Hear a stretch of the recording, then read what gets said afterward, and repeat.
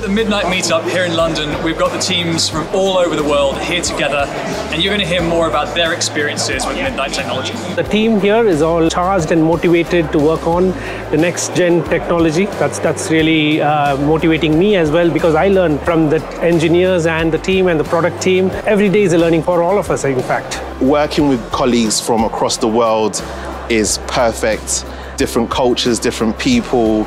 We've got a great vibe within my squads, and I get get on well with, with everybody. So it's it's just it's just a real good team effort.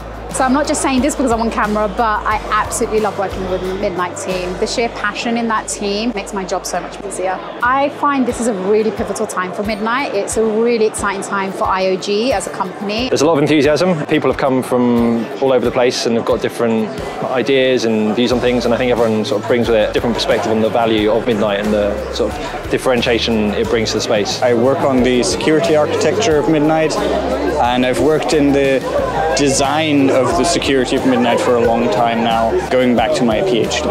A bit stressful, but it's also very exciting.